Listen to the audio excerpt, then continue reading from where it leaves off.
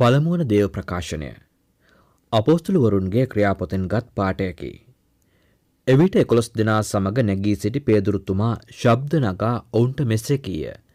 යුදෙව් ජනයනි ජෙරුසලමේ වසන සියල්ලෙනි මේ දැනගන්න. මගේ වචනවලට සාවධානව සවන් දෙන්න. ඔබ කුරුසියේ ඇන ගැසූ මේ ජෙසුස් වහන්සේ දෙවියන් වහන්සේ විසින් ස්වාමින් බවටත් ක්‍රිස්තුන් බවටත් පත්කර වදාළ බව මුළු ඊශ්‍රායල් ජනතාව සහතික ලෙස දැනගනිත්වා. ඔවුහු ඒ අසා සන්තාපිත සිත් ඇතිව සහෝදරවරුනි අප කුමක් කළ යුතු දැයි පේදුරුගෙන්ද අනෙක් අපෝස්තුලවරුන්ගෙන්ද විචාලහ. පෙදුරුතුමා පිළිතුරු දෙමින් ඔබ සියලු දෙනාම මනස්ථාපනය වී පෞකමාව ලබන පිණිස ජේසුස් ක්‍රිස්තුන් වහන්සේගේ නාමෙන් බෞතිස්ම ස්නාපනය ලබන්න. එවිට ඔබ ශුද්ධාත්ම දීමනාව ලබන්නාහුය. එවිට ඔහුගේ වචනය පිළිගත් අය බෞතිස්ම ස්නාපනය ලැබූහා. ඒ දවසෙහිදි තුන්දහසක් පමණ පුද්ගලයෝ ඔවුන්ගේ සංඛ්‍යාවට එකතු කරන ලදහ. දේවාක්‍ය එසේය. දෙවියන් වහන්සේට ස්තෝත්‍ර වේවා.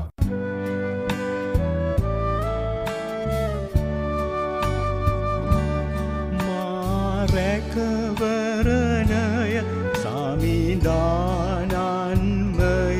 ඒතුමන්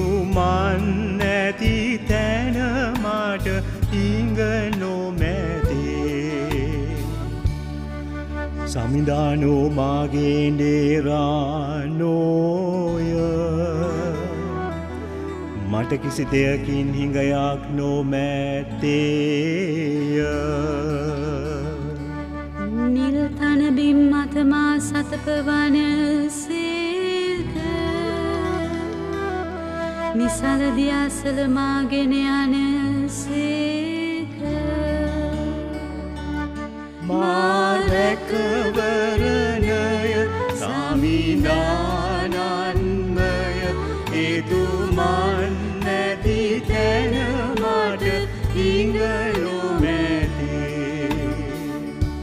දෙවන දේව ප්‍රකාශනය ශුද්ධ වූ පේදුරු තුමන් විසින් ලියන ලද පළමු හසුනෙන් කොටසකි. ඔබ වරද කොට ඊට සුදුසු දඩුවම ලබන කල්හි ඉවසන්නාහු නම් එහි කුමන වටිනාකමක් තිබේද.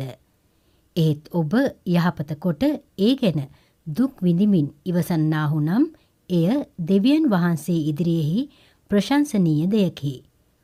ඔබ කැඳවනු ලැබුවේ මේ සඳහාය. ක්‍රිස්තුස් වහන්සේ ඔබ උදෙසා වදවිඳ ඔබ උන්වහන්සේගේ අඩිපාරේ යන පිණිස ඔබට ආදර්ශයක් දුන් සේක. උන්වහන්සේ කිසි පවක් නොකළ සේක. කවදාවත් බොරුවක්ද නොවදාළ සේක.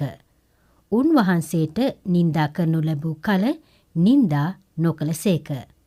වදවින්ද කල තර්ජනය නොකර දැහැමි ලෙස විනිශ්්‍ය කරන තැනන් වහන්සේට තමන්ම භාරදුන් සේක. අප පාපවලට නැසී දැහැමි ජීවිතයක් ගත කරන පිණිස උන්වහන්සේම තමන්ගේ ශරීරයෙන් කුරුසිය මත අපගේ පාප ඉසුළු සේක. ඔබ සුවකනු ලැබුවේ උන්වහන්සේගේ දුක්වේදනා නිසාය. ඔබ බැටලුවන් මෙන් මංමුලාව යමින් සිටියහුව. ඒ දැන් ඔබගේ ජීවිතවල එඩේරාද භාරකාරයාද වෙතට ඔබ හැරී සිටින්නාහුය. දේවවාක්‍ය එසේය. දෙවියන් වහන්සේට ස්තෝත්‍ර වේවා.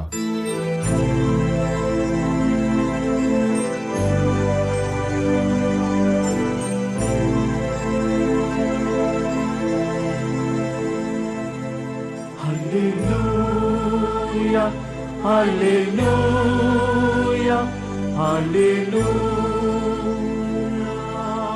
මම යහපත් බැටලු එඩේරාවෙමි.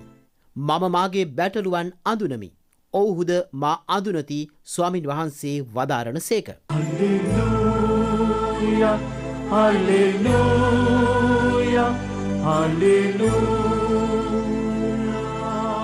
ස්වාමින් වහන්සේ ඔබ සමග වනසේක්වා ඔබ සමගද වන සේක්වා. සුවිශේෂක ජුවාමතුවන් විසින් ලියල ලද දෙවවාක්‍යනම් මෙසේය. ස්වාමිනි ඔබ වහන්සේට මහිමය වේවා. ජෙසුස් වහන්සේ කතා කරමින් ඒ කාන්තයෙන්ම මම ඔබට කියමි. දොරටුවෙන් බැටලු ගාලට ඇතුළු නොවී අන් තැනකින් නැගී පැනඉන්නා සොරෙක්ද කොල්ලකන්නෙක්ද වේ. එහෙත් දොරටුවෙන් ඇතුළු වෙන්නා බැටළුවන්ගේ එඩේරාය. දොරටු පාලයා ඔහුට දොරහරි. බැටළුවෝ ඔහුගේ කටහඬ අඳුනති. ඔහු තමාගේම බැටළුවන්ට නම් කියා අඩගසා උන් පිටතට ආවිට උන්ට පෙරටුවයයි.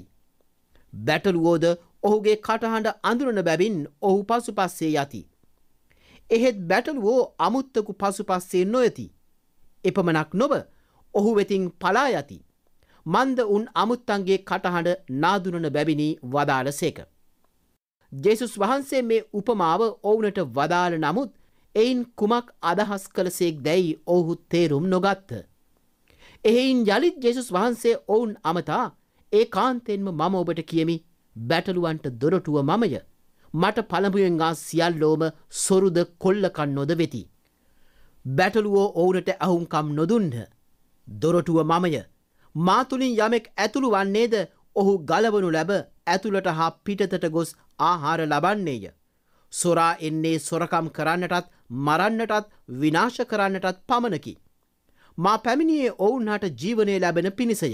සපුරාම එය ලැබෙන පිණිසයයි වදාළ සේක. ස්වාමින් වහන්සේගේ සුභවදන මෙසේය. ක්‍රිස්තුනිය වහන්සේට ප්‍රශංසා වේවා.